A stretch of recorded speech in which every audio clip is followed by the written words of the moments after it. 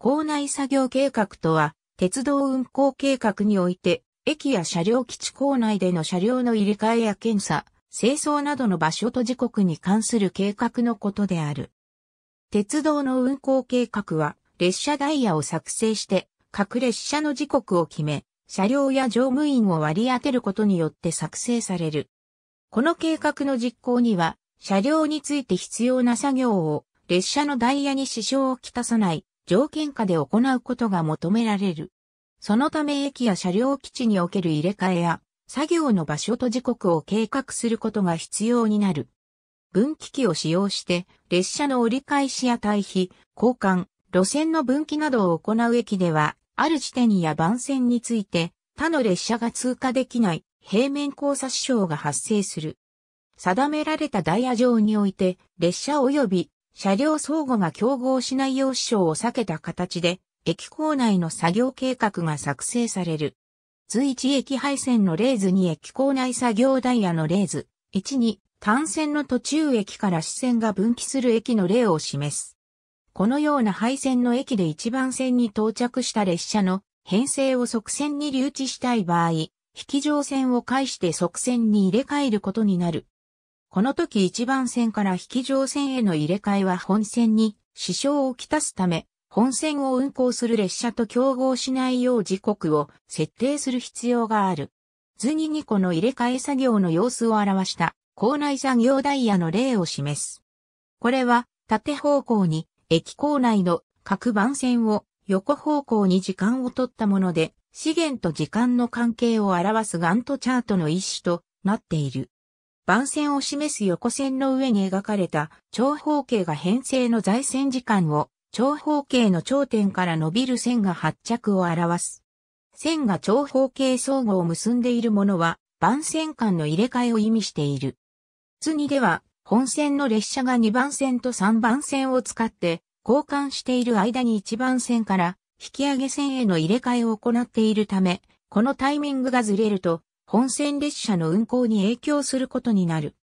この例では単純な側線への入れ替えのみ示しているが、多くの番線を有する駅では入れ替えに際して複雑な支障関係があり、入れ替えの計画が適切でなければ列車ダイヤを計画通りに実行することができない。特に車両の清掃や増解決、機関車牽引列車の着回しといった作業を行う場合などは考慮すべきことがより複雑になる。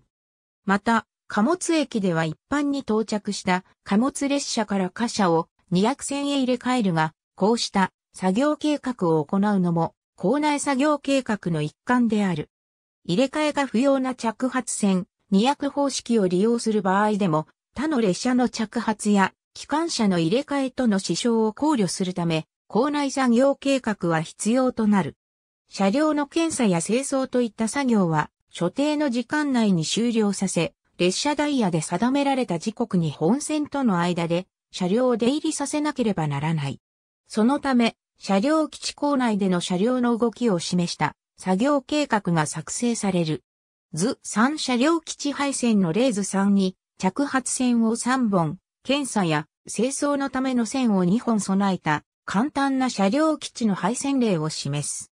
着発線は収容線、電流線などとも呼ばれ、列車の発着を処理するとともに、車両を留置しておく車庫に相当する。また検査線、清掃線は、倉線などとも呼ばれ、車両の修理や検査を行う工場に相当する部分である。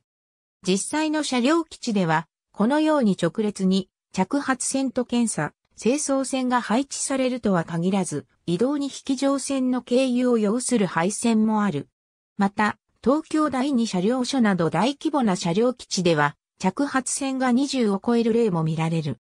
図4車両基地構内作業計画の例図4に、図3の車両基地における構内作業ダイヤの例を示す。駅における構内作業ダイヤと同様に、番線上の長方形で編成の在線をその間を結ぶ車線で編成の入れ替えを示している。またこの図ではこれに加えて検査や清掃を担当する作業員のスケジュールも併記している。この例では、着発線と検査、清掃線を結ぶ線路が一本であること、検査や清掃に使える番線や作業員の数が制約されていることを遵守した形で計画を作成しなければならない。校内作業計画を作成する上では、以下のような条件を満たさなければならない。多くの場合、本線の列車ダイヤを遵守する校内作業計画は複数個考えることができる。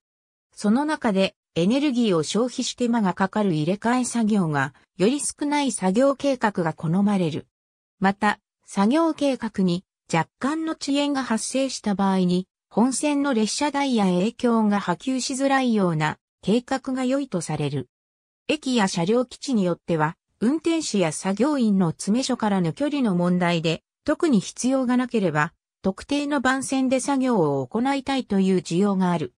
一方、錆取りのため、各番線をなるべく均等に使いたいという場合もあり、場所によって評価基準は様々である。校内作業計画をオンラインで作成するためのシステムの導入が次第に進められている。これは、校内作業ダイヤ図を画面上に表示しながら、担当者が手作業で入れ替えと作業の計画を入力していくものである。コンピュータは、その制約条件が遵守できているかのチェックを行う。人間の注意力では、進路指標の問題などを見落としがちであるので、単純な制約条件チェックだけでも大きな省力化となる。